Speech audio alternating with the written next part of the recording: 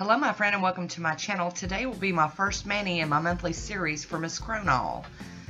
Here we go. I started off with Dainty Digits, Glitter Be Gone. You gotta shake it really good. And here is my first polish. And this one is I've Got a Crush by Color Club. Oh, look at that hollow.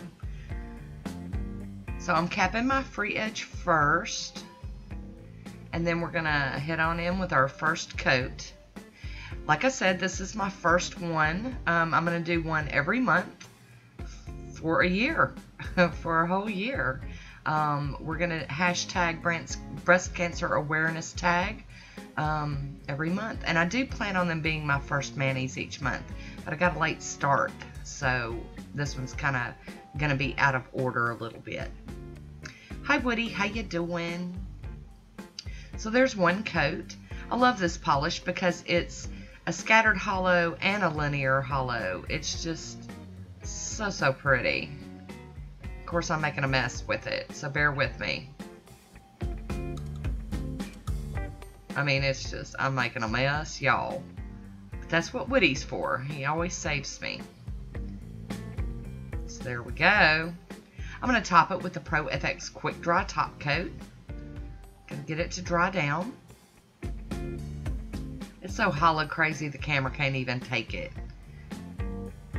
There we go. Okay. So there we go. We're going to cap the free edge again. Ah, yes. I'm going to be using this Beauty Big Bang 017 plate, my AliExpress stamper, and my clear jelly scraper, Nicole Diaries NS01 and Crayola from the Sally Hansen Carnation Pink. So I'm going to use this little awareness ribbon. I'm going to stamp it in white first. Being very careful not to drag through and leave bald patches. get that extra up with some tape. Here we go. We're going to put it on kind of diagonally on my ring finger. I did this also on my thumb that I could have, you know, two accent nails. And this isn't a stamp and polish here, but it does work really good for that. Look how opaque that is. Uh, yay! now the tricky part, to line this rascal up. I think we did pretty good. So there we go.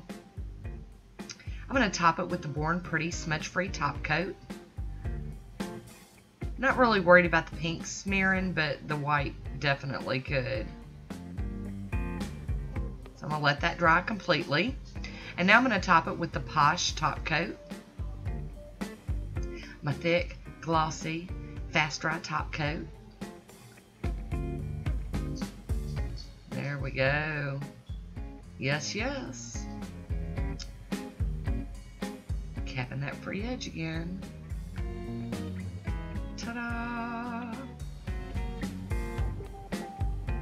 All right. I'm being such a ninny over this top coat. Do y'all ever see anybody else being ninny like this? Me? Ugh.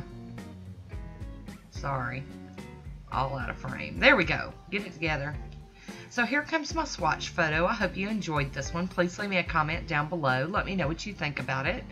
And that is it for today. I want to thank you for watching, and until next time, be good to yourself. I'll talk to you soon. Bye.